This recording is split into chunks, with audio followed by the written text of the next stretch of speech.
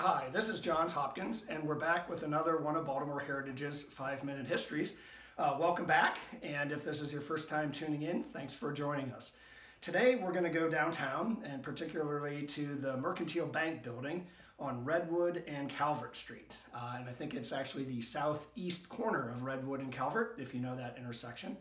Um, and we're going to talk a little bit about the building and the 1904 fire. Um, let's start with the building. The building was built in 1885, so before the 1904 fire, um, and it miraculously survives the fire, uh, but we'll get to that in a moment.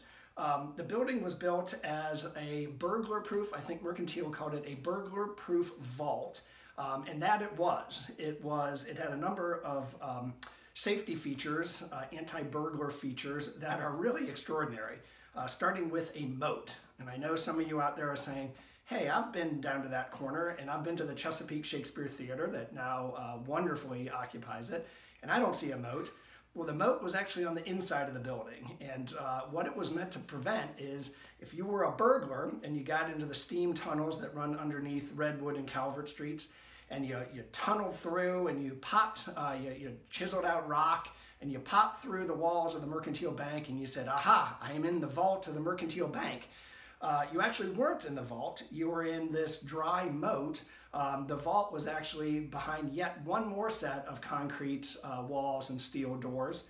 Um, and for you, what was worse uh, than being in the dry moat is that there was a uh, up in the um, up in the upper parts of the vault room, the bank, the, the banking room, there was a little stand with a sniper in it, a little uh, restroom next to it.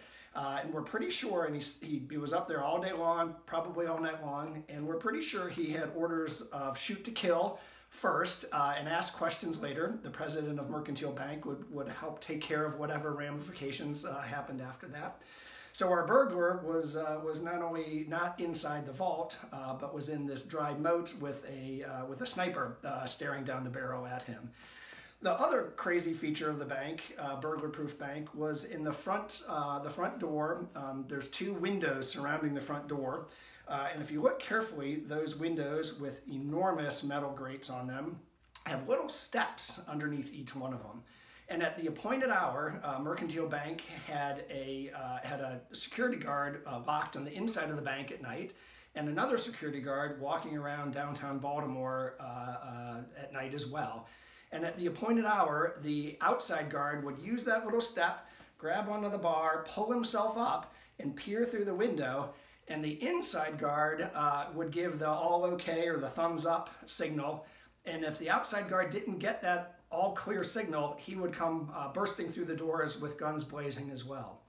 Mercantile Bank was uh, was really where Baltimore's wealthy uh, put their um, put their money, but not just their money. Uh, it, they also put their silver, their jewelry, the deeds to their houses. So the vault of Mercantile was really uh, was really um, uh, the fact that it was burglar proof made a lot of people happy. And one uh, uh, more than ironic, I think, um, uh, thing happened is that after the building, after Mercantile left the building, it was vacant for a while. Uh, and while it was vacant, um, it, uh, it got broken into, which is ironic in itself. But even more funny is the, uh, the fact that the burglar brought a, a, welding torch and tried to cut the main metal vault door off, um, I guess to sell for scrap and uh, and then so that was kind of funny is to uh, think of that. And then the third sort of layer of funniness is that uh, the burglar couldn't get the door off. Uh, either the welding torch ran out or he ran out of time. Uh, and so if you go see a show at the chesapeake shakespeare theater uh, it's if you're looking at the stage go go back behind the, the seats on the left and you will see a, a, vault door which looks like it got struck by lightning and the, the folks of the chesapeake shakespeare have kept that kind of in tribute to what was uh, this, this uh, super ironic uh, instance. Um, I will have to say, if you haven't been to the Chesapeake Shakespeare Theater, it is one of the most magical places uh, that I know of, not just in the city, but anywhere. Um, after the building got uh, was vacated by Mercantile, it was a nightclub for a little while, and then uh, and then it went vacant again. And when you think of a theater, you think of a, a rectangle. Rectangle. You have a stage, and then you have a bunch of seats. Um, well, the bank building was not rectangular, it was square. So how do you fit a theater into a square box? Well, luckily it was square, but it had incredibly tall ceilings. So instead of building your theater horizontally, you build it vertically. And that was the, the genius of the folks behind the design.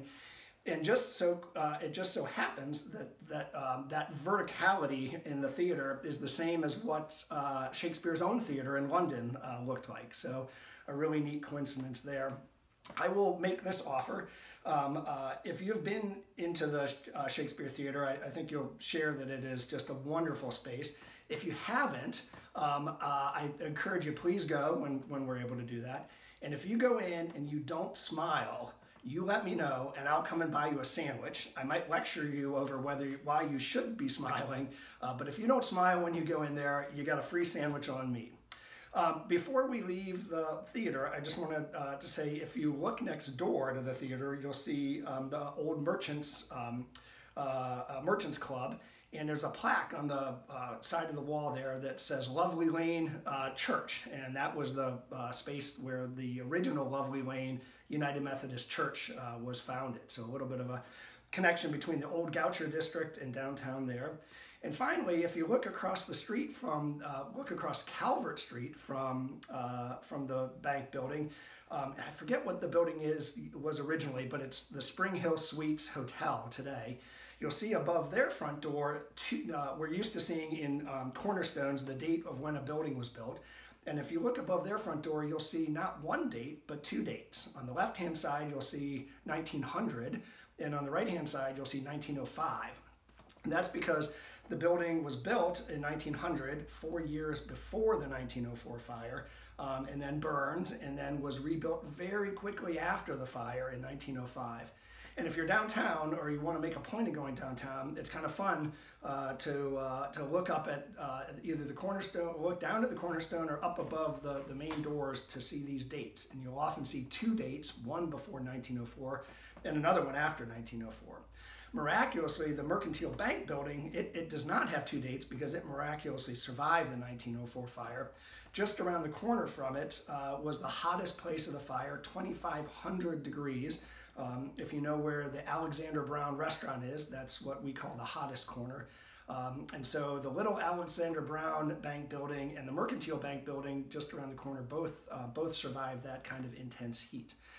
Um, I think we're going to leave it there for now today. So thanks again for joining us. I do want to end though with one more thing, uh, and it's a, a, a, little bit of a plea for help for Baltimore Heritage. We get a good chunk of our operating costs from the $10 and $15 that you all kindly pay to come on our walking tours and bike tours and behind the scenes tours. We're obviously not uh, doing that or getting that revenue in uh, this spring. So if you feel that you're able, we sure would love a little bit of a contribution of any size, would be very grateful.